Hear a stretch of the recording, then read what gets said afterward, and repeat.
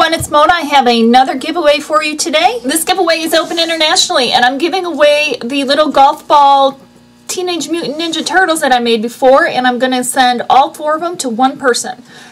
If you are under the age of 16, you must ask your parents for permission before you enter and this is open internationally. If you can get mail, I will send it to you.